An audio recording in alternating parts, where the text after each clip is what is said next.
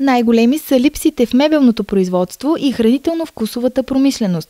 Недостиг се усеща и в спортните дейности. Различни направления професионални а, усещат недостиг сериозен на кадри. И за това тази година сме много щастливи, че професионалните гимназии се обърнаха към така наречените защитени паралелки и паралелки с очаква недостиг, както и обучение в дуалната система, защото така ще отговорят на потребностите на пазара на труда и ще дадат възможност децата да се изградят като професионалисти в дадено направление, което после ще им даде възможност за добра успешна реализация.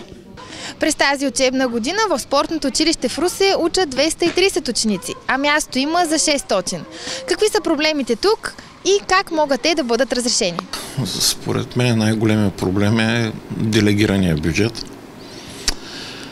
тъй като нашите треньори, които трябва да търсят таланти, не, не са допускани в е, другите училища, нали, в часовете по физическо, за да се избират талантливите деца. Една от идеите на Ковачев е представители на треньорските им екипи да ходят в различните училища, за да привличат талантливи деца.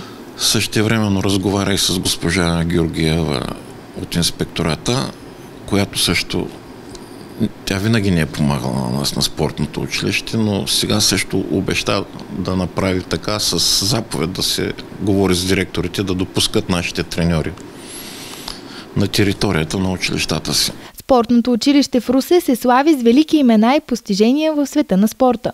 Междувременно осигурява плувния басейн, в който Илян Русев Скури помага на деца с специални потребности.